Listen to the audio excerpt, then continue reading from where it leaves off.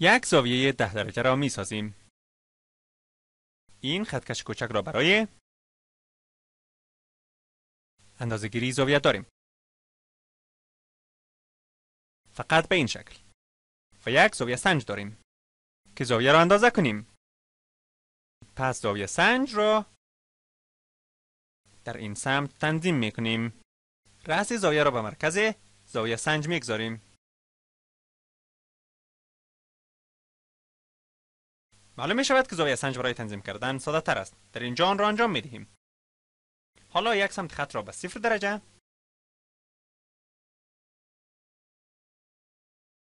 سمت دیگر آن را به ده درجه می‌گذاریم. و این قسمی معلوم می شود که تمام شده. زاویه ده درجه را ساختم. در اینجا زمانی که از خطکش اندازه گیری استفاده می کنید باید دقیق باشید به خاطر که زاویه خراب نشود. زاویه سنج را دور کرده زاویه را که در مورد آن گپ می‌زنیم می‌بینیم اگر خطوط زاویه را تغییر دهیم آن شاید زاویه را اینطور شبیه زاویه خارجی نشان دهد دقیق باشید و ببینید که در حقیقت کدام زاویه را اندازه می‌کنیم این زاویه ده درجه معلوم می شود جواب خود را بررسی می کنیم اگر زاویه ده, در... اگر زاویه ده درجه را اینطور انجام دهید دقیقا آن اشتباه خواهد بود حتی اگر زاویه داخلیان در اینجا ده درجه باشد. این حلقه را می‌بینید. طوری معلوم می شود که آن یک زاویه خارجی است. این مهم است که حداقل در این تمرین دقیق شوید. این سیستم است که برنامه کامپیوتر آن را می‌شناسد که در مورد کدام زاویه گپ می‌زنیم. یکی دیگر آن را انجام می‌دهیم. که زاویه 155 درجه است و این دلچسب می باشد به خاطر که یک زاویه مبهم است.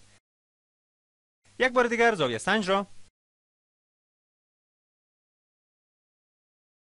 در ره زاویه می‌گذاریم. مانند آن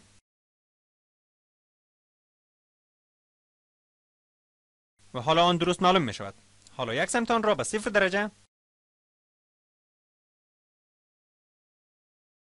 و سمت دیگر آن را به 155 درجه می‌گذاریم.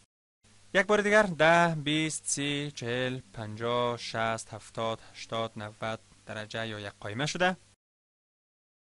و بعد دوباره شروع می‌کنیم به سمت زاویه مبهم. 100 110 120 130 140 150 و یقینا نه آن دیگر بلکه قوس آبی در این سمت اندازه زاویه است. زاویه سنج را دور می‌کنیم. و زاویه را می‌بینیم. آن زاویه اشتباه است و باید زاویه 150 نه. بلکه 155 درجه باشد. زاویه 155 درجه. حالا آن را درست به دست آوردیم.